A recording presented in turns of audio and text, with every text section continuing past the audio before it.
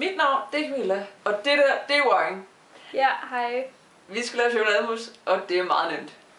Det vi skal bruge, det er øh, pasteuriseret skrabeæg af både øh, blommer og af videre. Så skal vi bruge øh, en halv kvart, 125 gram fløde og 60 gram chokolade. Og øh, så skal du bruge 15 gram sukker. Derudover så bruger vi havtorn til ovenpå og makroner nedenunder. Vi starter lige med at tænde komfuret her, fordi vi skal have øh, chokoladen over og, og smelte. Øhm, det her det er 100 gram, så vi tager bare lige og åbner den her.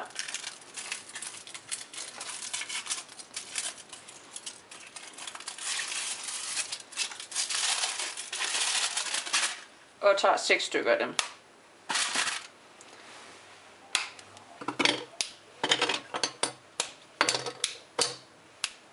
Det skal bare lige knækkes lidt, så det smelter hurtigere.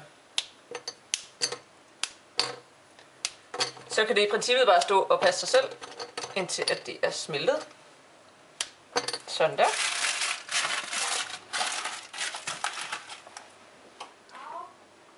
Jeg kan lige tynde lidt op her. I mellemtiden, så tager man sine øh, blommer op i en skål. Så. Så tager man øh, sukker. 15 gram cirka.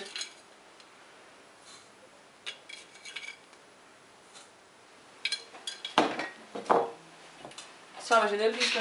Ja. Og pisker til en æggestaps.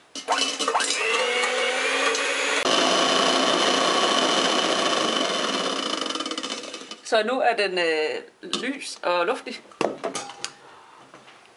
Så skal vi have øh, lavet æggehviderne. Og det er vigtigt, at skålen den er helt ren. Ellers så øh, bliver det ikke til øh, de stive hvider, som vi ellers gerne vil have. Så jeg vasker lige øh, piskris her også. De skal bare være helt stive, så man kan vende bøtten på hovedet, når det ryger ud.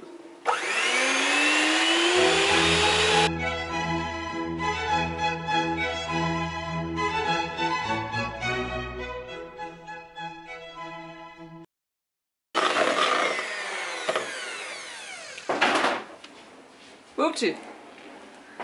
Så er det. Så blev øh, ægget stive. Så skal vi have et pisket flødeskum. Man tager egentlig bare en halv af dem her.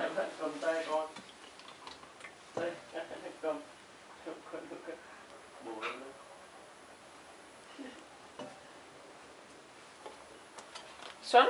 Og pisker til helt almindeligt let pisket flødeskum.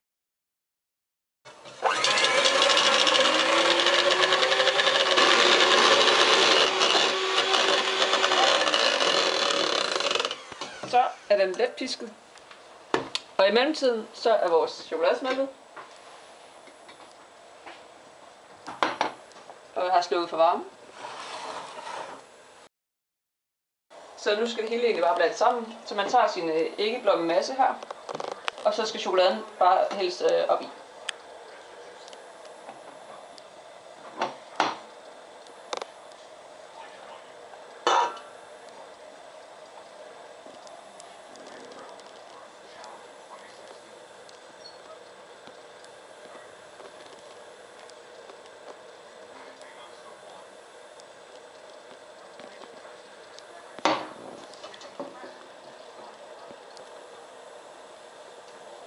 Og det skal bare blande sammen. Når det er en homogen masse, så tager man sin øh, flødeskum og vender op i. Det er vigtigt, at man ikke pisker så meget der, fordi ellers så ryger luften ud af flødeskummet.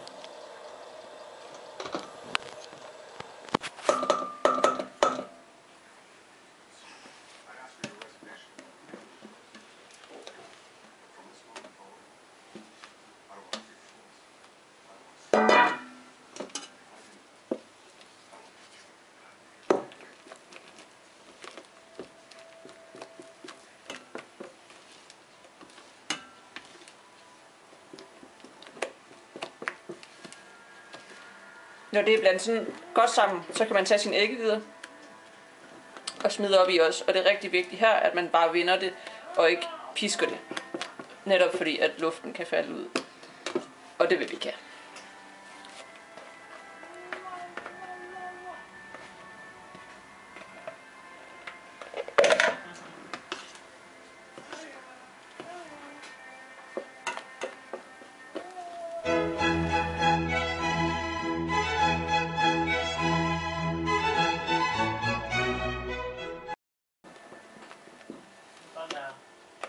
Så er den ved at være der.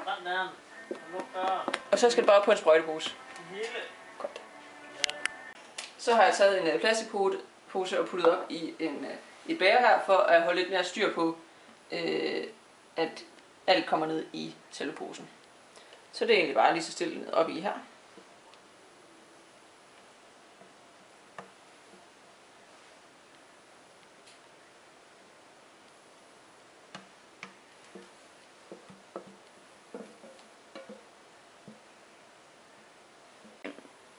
Vi har valgt at servere i øh, sådan nogle små kopper, så vi tager en øh, halv makron og knuser ned i hver kop. Det er bare for at give noget crisp i bunden af mussen, så det ikke bliver for kvalmt.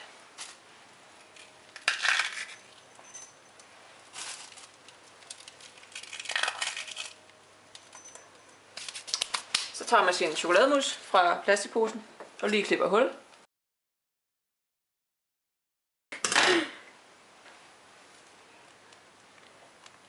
Og så bare fylde op.